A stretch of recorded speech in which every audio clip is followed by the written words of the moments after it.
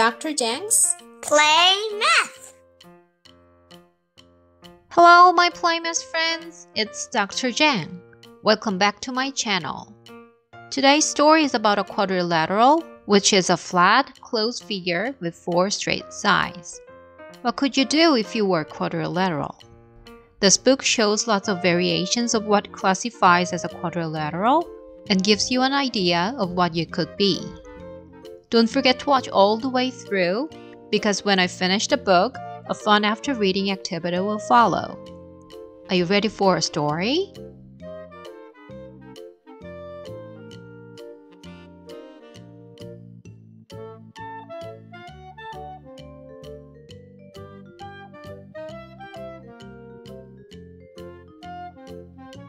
If You Were a Quadrilateral by Molly Blaisdell, illustrated by Francesca Carabelli. Quadrilateral, a flat closed figure with four straight sides. If you were a quadrilateral,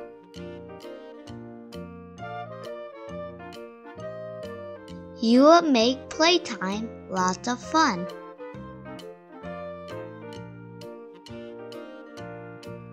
If you were a quadrilateral, you would be a flat closed figure with four sides. All your sides will be straight. The animals love to paint. They love painting quadrilaterals most of all.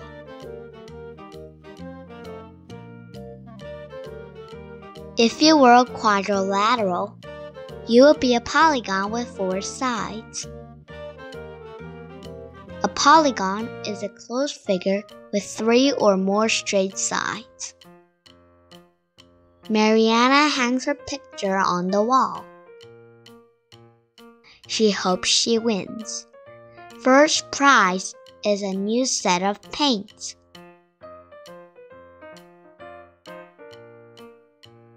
If you were a quadrilateral, you would have four angles. An angle is the measurement between two sides at a corner. The bases are loaded.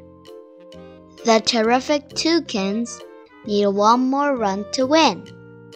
Louise gets ready to swing.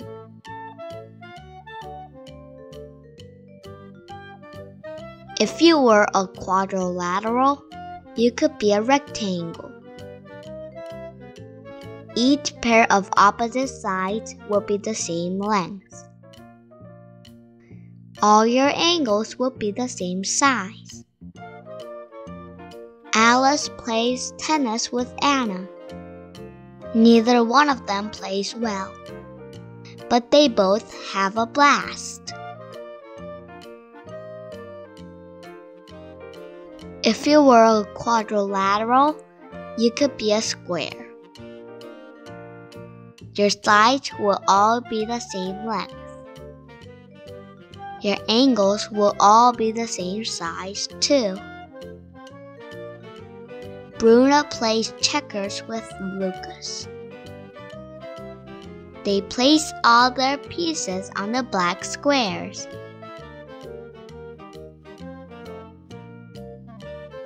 If you were a quadrilateral, you could be a rhombus.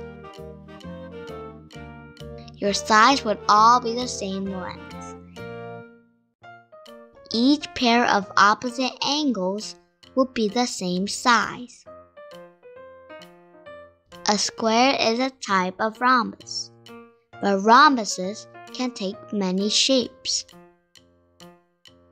Pedro's band practices every day. One day, the rowdy rhombuses will be famous.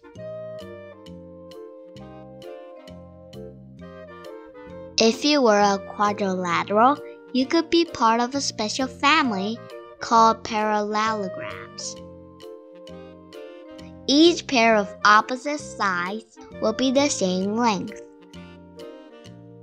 The opposite sides would also never touch or cross each other they will be parallel.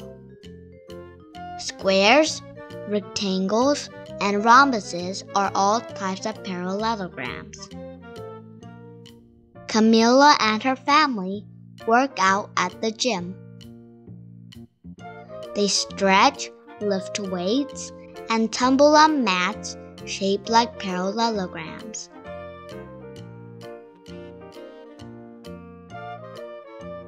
If you were a quadrilateral, you could be a trapezoid. Only two of your sides would be parallel to one another. Everyone grabs a kite and races up the hill.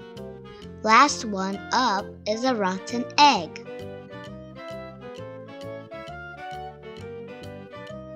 You could fly high in the sky if you were a quadrilateral.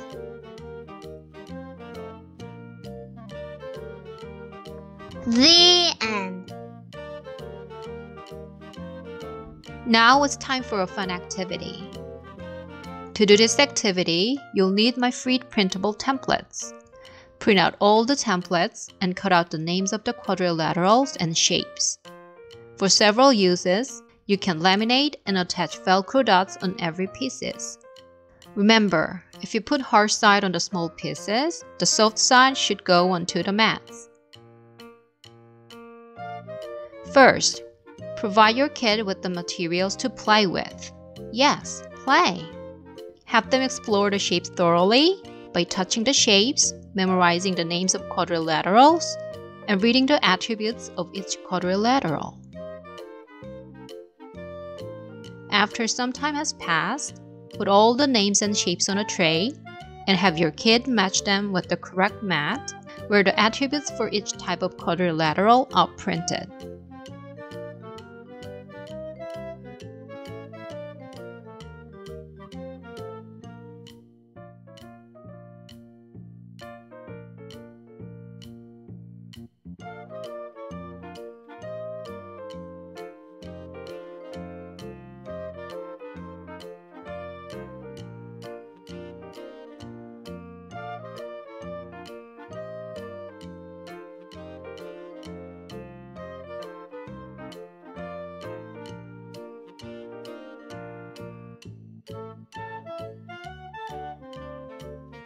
Once your kid seems to understand each quadrilateral's attributions fair enough, you can challenge your kid to complete the diagram.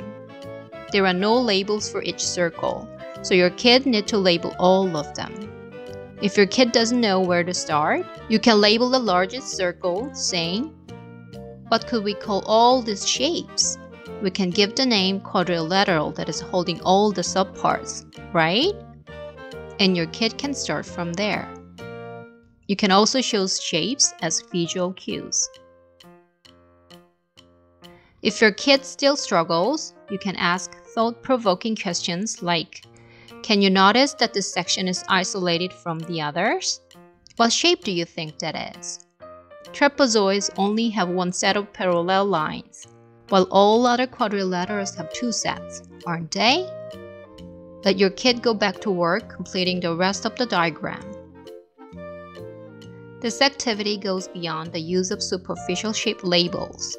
It provides higher level of explorations of shapes and helps kids recognize and specify the defining attributes of quadrilaterals.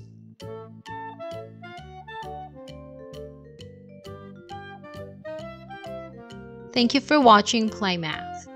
To read more math picture books and do after reading activities, please subscribe to this channel. See you next time!